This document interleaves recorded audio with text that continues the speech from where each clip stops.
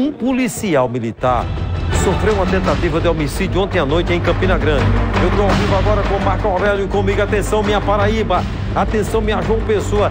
Direto agora de Campina, Marco Aurélio. Atenção sobre essa tentativa contra um policial. Vai, Marco! Cidade em Ação. Samuca, com você e a todos Samuca que nos Duarte. assistem através do Cidade em Ação.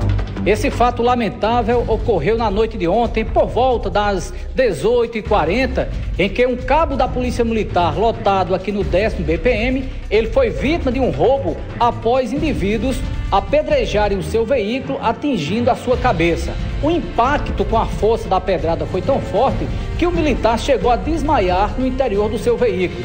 Em seguida, ele foi socorrido para o hospital de trauma, onde deu entrada naquela unidade hospitalar, realizando um procedimento cirúrgico.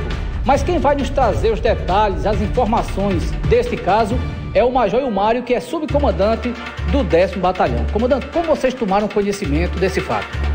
Boa tarde, Marcos. Boa tarde, Samuca. Chegou ao conhecimento do nosso 190 de que um cidadão teria sido vítima de um roubo nas imediações ali da rua Campos Sales com a Avenida Canal. E ao chegar lá, constatou tratar-se de um policial militar. Ele estava de folga e um indivíduo teria chegado lá para efetuar o roubo, atirado, como você bem falou, uma pedra no para-brisa, no vidro, melhor dizendo, no lateral do carro. E essa pedra veio atingir o policial e que sofreu essas lesões por ti relatadas. Comandante, os autores já foram identificados? Marcos, a gente está trabalhando nessa identificação já ontem mesmo por determinação do nosso comandante da unidade, o Tenente Coronel Figueiredo.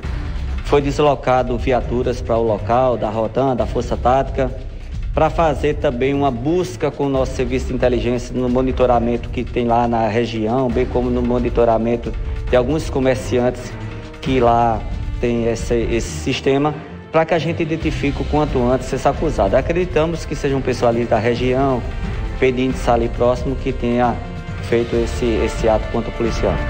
O senhor teve contato com o militar? Ele falou alguma coisa ou não, comandante?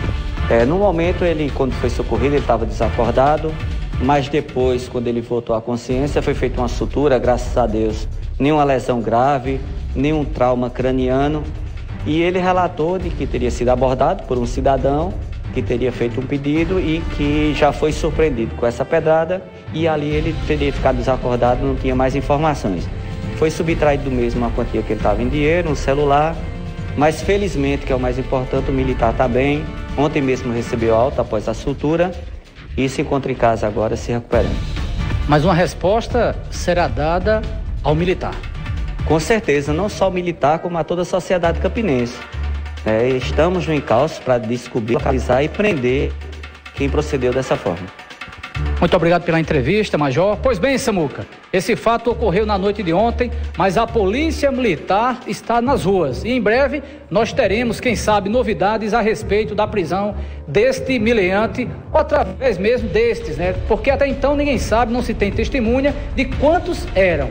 O que nós sabemos é que o militar foi atingido e, graças a Deus, passa bem. Volto com você, Samuca. Ô, rapaz, já pensasse